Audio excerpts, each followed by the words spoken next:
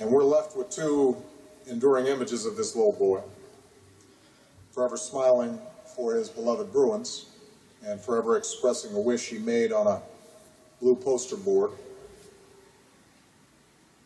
No more hurting people. Peace. No more hurting people. Peace.